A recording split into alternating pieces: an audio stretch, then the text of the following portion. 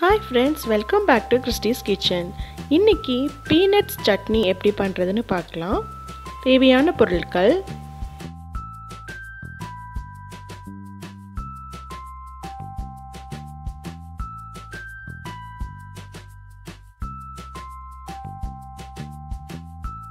Pan சுடுறதுக்கு அப்புறமா அதில் two table spoon oil add பண்ணிக்கோங்க.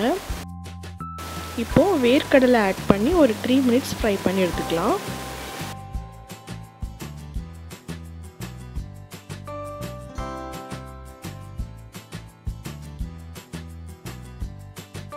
இப்போது நல்லா டோஸ்ட் ஆகிடுச்சு ஸோ இப்போ ஸ்டவ் ஆஃப் பண்ணிடலாம்.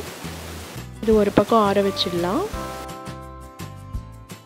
அதே பேனில் சின்ன வெங்காயம் ரெண்டு பல் பூண்டு புளி காய்ந்த மிளகாய் எல்லாம் ஆட் பண்ணி ரெண்டு நிமிஷம் நல்லா டோஸ்ட் பண்ணி எடுத்துக்கலாம்.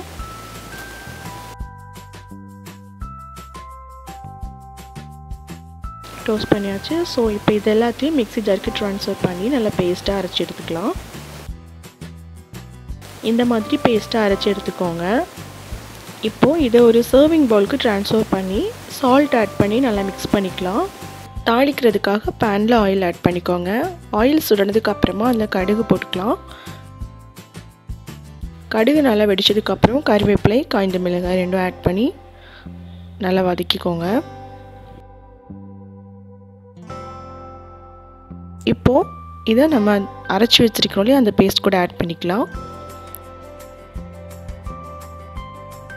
அவ்வளோதான் நம்மளோட டேஸ்டியான பீனட்ஸ் சட்னி ரெடி ஆகிடுச்சு கண்டிப்பாக வீட்டில் ட்ரை பண்ணி பாருங்கள் ட்ரை பண்ணி பார்த்து எப்படி இருக்குன்னு கமெண்டில் சொல்லுங்கள் தேங்க்ஸ் ஃபார் வாட்சிங்